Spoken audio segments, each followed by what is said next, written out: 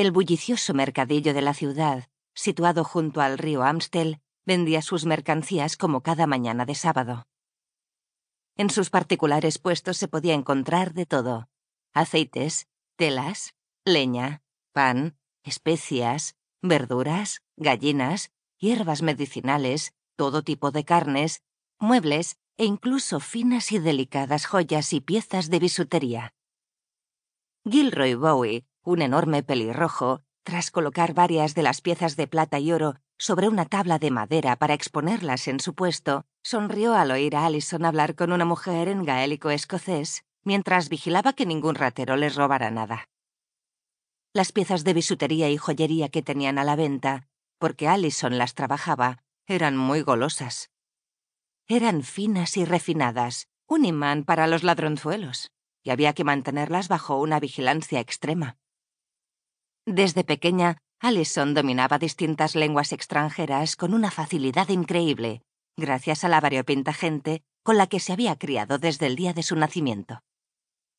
Una vez que la compradora se llevó un bonito anillo de plata para ella y una trabajada hebilla para el cinturón de su marido, Allison se guardó las monedas. A continuación, miró a un hombre que la observaba y preguntó, ¿Os gusta algo? El hombre, un burgués de la zona, se acercó a ella. En realidad sí, afirmó. La joven sonrió y, dispuesta a atenderlo, iba a hablar cuando él se le acercó más de la cuenta y la cogió del brazo. Me gustas tú, musito. ¿Qué tal si... No pudo decir más.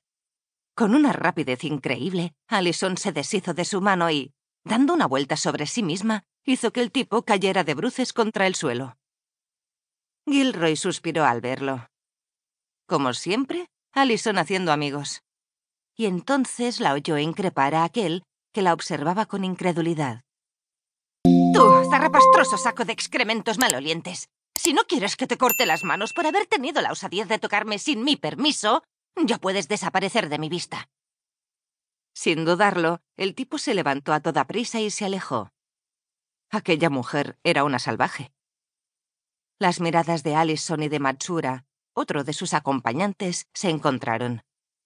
Ambos sonrieron por lo que acababa de ocurrir, y la muchacha, al ver que un joven rubio de ojos claros y aspecto agradable la observaba, sonrió y cuchicheó dirigiéndose a Gilroy.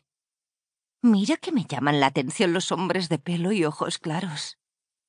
El joven, que había sido testigo de lo ocurrido, al ver cómo ella lo miraba y le sonreía, se dio la vuelta en menos de dos segundos y se marchó. No quería problemas. Gilroy soltó una risotada al verlo. La delicadeza femenina no iba con Allison y, mirándola, afirmó. Bicho, creo que tu bonito vocabulario y tu arrolladora personalidad lo han asustado. Probablemente. Gilroy meneó la cabeza y Allison resopló para luego añadir. Bah, si unas palabritas de nada lo asustan, no merece mi atención. Instantes después, cuando una adinerada pareja se acercó al puesto, ella trató de dulcificar su expresión y los atendió con amabilidad. Cuando quería, podía ser un encanto. Minutos más tarde, cuando aquellos se marcharon llevándose varias piezas creadas por ella, la joven se guardó las monedas y se dirigió de nuevo a Gilroy. Estupenda mañana la de hoy, el pelirrojo asintió. Las joyas que Allison creaba eran verdaderas obras de arte. Al poco, ella se tocó su talega y comentó. Voy a ir a ese puesto a comprar algunas hierbas que necesitamos, Gilroy. No me moveré de aquí, afirmó el pelirrojo. Allison se echó el chal que llevaba por la cabeza y caminó hacia el puesto de hierbas. Durante un buen rato, con amabilidad y simpatía, departió con el hombre que las vendía sobre infusiones y cicatrizantes.